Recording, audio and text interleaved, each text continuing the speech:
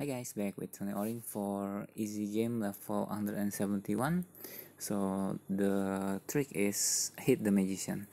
You need to tap and keep tapping until the magician is on the left side or, or on the right side, it's up to you and you will win, just like that. Okay, uh, continue. Level 172, what's on the lake bed? Okay use the moon crescent moon to make the water out slowly and then you will find a chest tap it. Next. Level 173 get out of the well. You need to drag up and then you will find a bucket.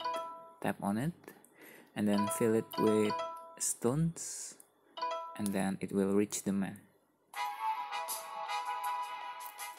Level 174. Reach the exit after collecting all the coins. Swipe to move.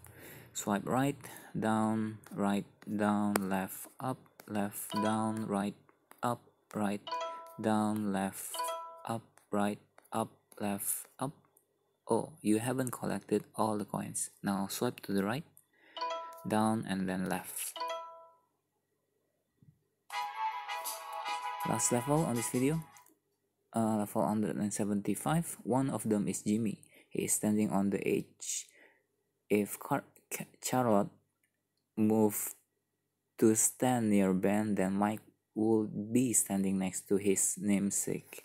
So the answer is Mike. Quite easy.